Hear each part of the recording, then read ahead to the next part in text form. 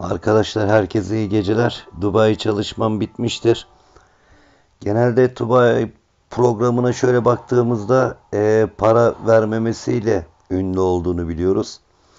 Ama bugün e, ben koşuları bir analiz ettiğimde farklı bir e, sonuç çıkabileceğini düşündüm.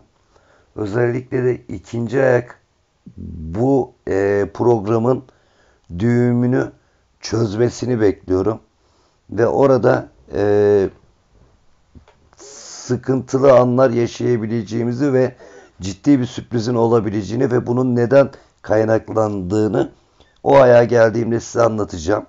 Şimdi altının ilk e, yedili plas ayağından itibaren başlayalım. Yedili plase ilk ayağında benim e, şimdi söyleyeceğim şey ikili de düşünülebilir. 3 numaralı Home City'yi tutuyorum.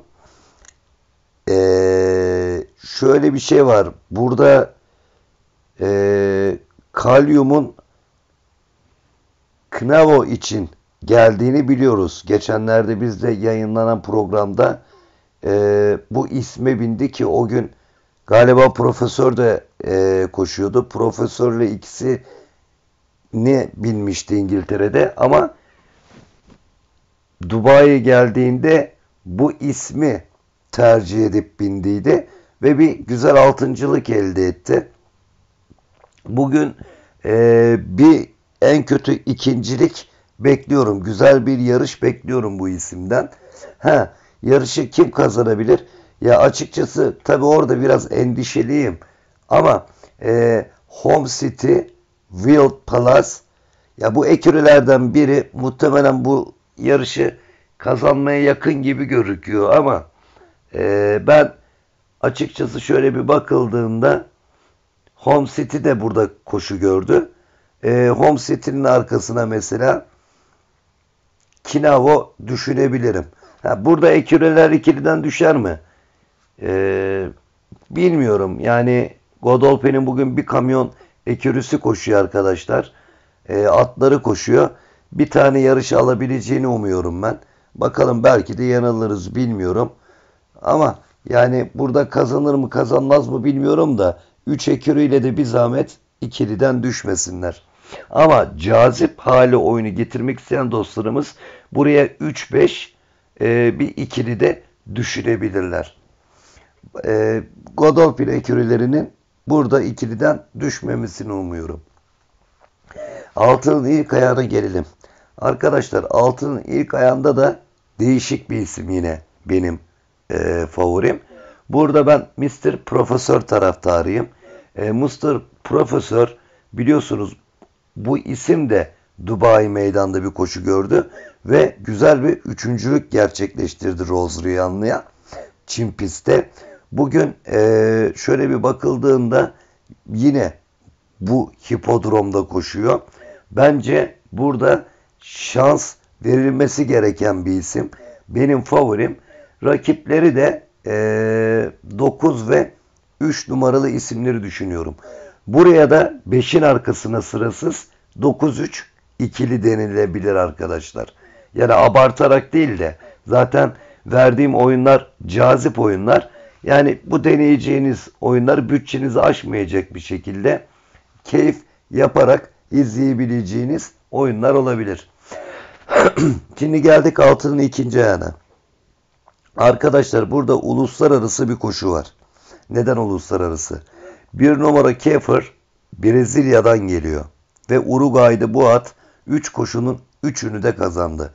2 numaralı Kuyatini Buell Arjantin'den geliyor. Bu isim bu hipodromda e, daha önceden de geldi ve 1400 koşuda 1.25-38 derece ile kazandı. 3 ee, Albahir biliyorsunuz zaten mavi formanın ismi. 4 numaralı Hair Drums bu isim Danimarka'dan bu koşu için geliyor arkadaşlar. Danimarka'dan geliyor. Ee, Patrick Cosworth'ı da üstüne deklar etmişler ki belli yani burada e, bu isim ciddi anlamda bir ümit var ki bu attan e, bu hipodromdaki e, şeyi siz söyleyin. bu hipodromdaki e, jockey deklar etmişler. Kendileri jockey de getirmemişler. Daha sonradan baktığımız zaman 5 numaralı Mujer bu hipodromda zaten yarış kazandı ve 1400'de 1.26.92 ile kazandı. Açıkçası Quetilil Bo'nun 1.26.92'ye nazaran 1.25.38'i var. Derecesi 5'ten e, biraz daha iyi. 7 numaralı Reyve e, Amerika eşkalli bir safkan. Bunu gerçi tam bakmadım. Nereden geliyor, nereden gidiyor? O isme tam bakamadım ama galiba bu e, bu hipodrom tabi e, Jebi hipodromunda koştu ve meydan hipodromunda koştu. Bu hipodromun atı arkadaşlar.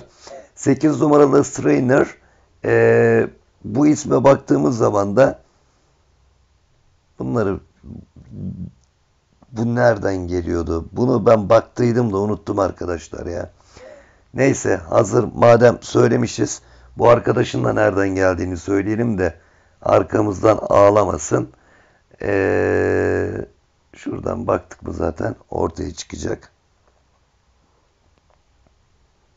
Bu Amerika'dan geliyor bu isim. Tapit temsilcisi zaten. Bu isim de burada e, koşacak ilk defa. Eğer yanlış şey vermiyorsam Amerika menşilli bir isim ve büyük bir ihtimal bu da Amerika'dan geliyor arkadaşlar. Ya bu hatta tam bakamadım galiba da. Ee, gerçi şans vermişim. Tam bakamadım derken tam baktığım için şans vermişimdir de not almadığım için burada kaldı. Neyse fazla sözü uzatmayayım. Ben burada 2 numaralı Querty Bon'un bu koşuyu kazanmasını bekliyorum. Alternatif Bankom. Eğer bu isim gelmezse bence burası karışır gibi. 3, 5, 8, 1 e, bu isimler burada e, farklı koşular koşup e, farklı neticelerde alabilir arkadaşlar.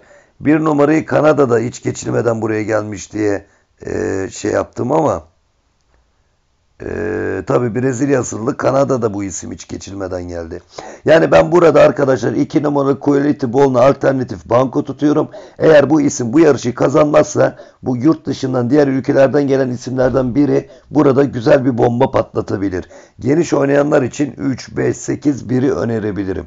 2 alternatif banko 3, 5, 8, 1 daha sonraki geniş oynayan isimler için önereceğim isimdir.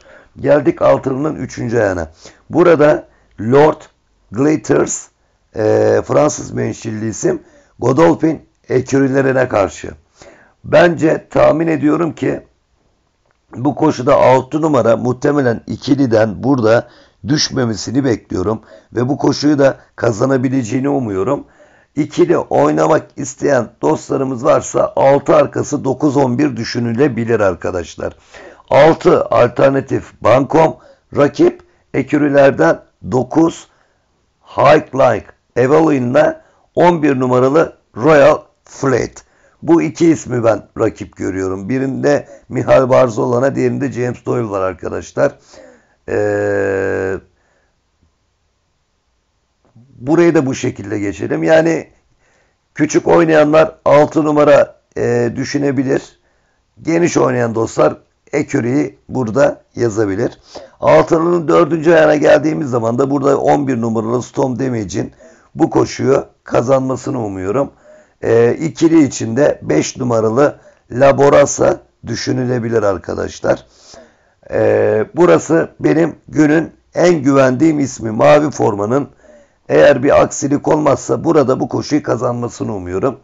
Altının 5. ayağına geldiğimiz zaman da 1 numaralı Altarayt benim burada e, favori ismim. Rakipleri 3 ve 4. Burada da sırasız ikili düşünülebilir arkadaşlar. Bir arkası 3-4. Ama e, oyunuma 1-3-4 yazılı bir şekilde geçiyorum. Altılının son ayağına geldiğimiz zaman benim burada favorim 14 numaralı Gentry Bellini. Bu isim e, çok ciddi gruplarda koştu ve çok iyi sonuçlar e, gerçekleştirdi. Hatta Bir de şöyle bir şey e, size söyleyeyim arkadaşlar. Bu isim en son kazanmış olduğu koşusu Dubai meydandaydı ve en son 79 e, AD'li oranın şey oluyor bu. Para birimi oluyor. 10 at arkasından ikincilik gerçekleştirdi. Burada e, yani koşuyu kazanmaya yakın bir isim olarak görüyorum. Kork'ta yarış kazanmışlığı da var. Rakip olarak da biraz kalabalık tuttum burayı. 2, 1, 6, 3, 4, 5, 15, 7, 16. Ben bugün Dubai'de ikinci ve son ayakta sürpriz bekliyorum arkadaşlar. Diğer oyunlarda plase isimlerin kazanmasını bekliyorum. Eğer böyle bir ciddi bir kurgumda e, oyun ceyran ederse çok güzel para vereceğini de umuyorum bu oyunun. Şimdi tekrarlıyoruz. 7'li plasaya 3-5 e, Godolphin ekürüleri burada ikiliden düşmeyebilir. 5 numara cazip isim olduğu için burada ikili e, düşünülebilir. Altının ilk ayağına geldiğimiz zaman altının ilk ayağında ben 5 numaralı profesörden yanıyım. İkili bahiste de önde sabit alıp 9 ve 3 numaralı isimlerle ikili denilebilir. Zaten altılımda da 5, 9, 3 olmalı burası. Altılının ikinci ayağına geldiğimiz zaman burada ben 2 numaralı Orient e, Quality Born'u alternatif banko olarak öneriyorum. Eğer gelmezse burada diğer ülkelerden e, bu yarış için gelen isimlere şans veriyorum. 3, 5, 8, 1 bir de bu 4 numara arkadaşlar. Bu 4 numarayı da gerekirse bir çizik atın. Söyledim mi baştan bilmiyorum da e, at yazmak isteyen ya da beşlik ayağına oynayacak dostlarımız mutlaka buraya tarasınlar. Belki bir sürpriz gerçekleşebilir. Altının 3. ayağına geldiğimiz zaman burada da 6 numaralı Lord Glitters benim alternatif bankom. Rakip olarak e, ikili de başa alıp 9-11'de düşünülebilir. Büyük bir ihtimalle zaten e, ya bu 6 numaralı Lord Glitters ekürüleri e, mağlup edebilir ya da ekürüler burada e, Lord Glattis'ten bu koşuyu lehine çevirebilir. Altının dördüncü ayağına baktığımız zaman da burada Godolphin ekürülerin ben kazanmasını umuyorum. Kazanacak isim olarak da 11 numaralı Strop Demiç'i görüyorum. E, ikili içinde 5 numaralı Laburosa ikili denilebilir arkadaşlar. Altılının 5. ayağında 3 isim tutuyorum. 1 numaralı Eltrek, 3 numaralı e, Kan Vasset, 4 numaralı Friendom Fighter. E, burada da bir arkası 3-4 ufak bir şekilde e, ikili denenebilir. Altının son ayağında da benim favorim 14 numaralı Gentry Bellini. Onun arkasına da 2, 1, 6, 3, 4, 5, 15, 7, 16 sıralamamı sunuyorum. Ya Dubai Meydan genelde para vermiyor arkadaşlar biliyorsunuz. Yarın büyük bir ihtimal mavi formanın bütün hatları zaten muhtemelen favori çıkar. E, ikinci hatta bu benim e, verdiğim çoğu isimde ikinci hat çıkacaktır. Yani bu oyunda e, dinleyip oynamanın bir anlamı yok. AGF tablosuna bakarsınız zaten bütün favori isimler ortaya çıkacaktır. Bizim amacımız burada cazip isimleri bulabilmek. Ben de e, yaptığım araştırmalar ve analizlere göre bu şekilde bir kurgu çıkardım. Bu şekilde bir kurgu gelirse zaten bu altılı iyi bir para verir. Diğer türlü vermez. Ama sessiz olun. Eğer ufak kupon ya da beşlik ayan düşünüyorsunuz benim hatırıma şu ikinci aya çok at yazın. Sanki içimden bir orada iki kazanmazsa o koşunun patlayacağını söylüyor. Ve son aya mutlaka %100 AGF de çıksa son aya da çok at yazın. Benim bugün e, Dubai'de kilit nokta beklediğim koşular ikinci ayak ile son ayak arkadaşlar. Altılı para verirse bu iki ayakta verir. Zaten diğer tarafta ekürüler ve rakipleri AGF oranında belli olacak. Şey, ekürüler dediğim Godolphin ekürülerinden bahsediyorum. Onların ilk 3 atıların dışına diğer koşulların çıkacağını zannetmiyorum. Herkese iyi geceler diyorum. Hoşçakalın.